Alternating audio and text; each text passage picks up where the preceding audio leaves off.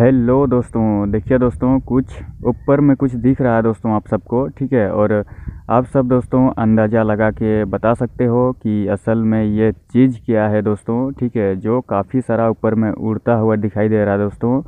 आप सब अंदाज़ा लगा के बताइए हमको कि ये असल में है क्या चीज़ जो इतना सारा उड़ रहा है। दोस्तों, अगर वीडियो, दोस्तों, वीडियो आप सबको अगर अच्छा लगे तो लाइक, शेयर, कमेंट करना ना भूलें दोस्तों और साथ में